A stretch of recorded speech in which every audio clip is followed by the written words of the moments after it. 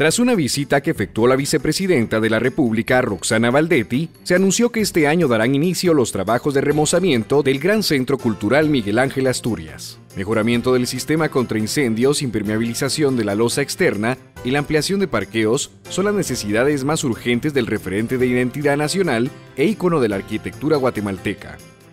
La vicegobernante estuvo acompañada del ministro de Cultura y Deportes, Carlos Batzín, quien dijo que para las reparaciones serían necesarios por lo menos 45 millones de quetzales.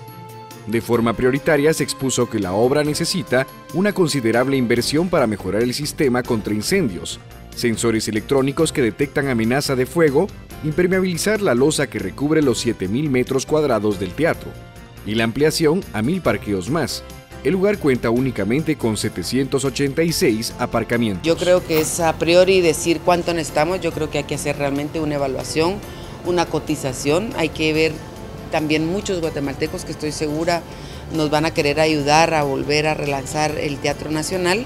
y ver empresas que yo estoy segura que quieren ayudarnos y ojalá no sean los 45 millones, sino que muchas voluntades unidas alrededor del teatro, dejando esto como lo que es un majestuoso teatro nacional.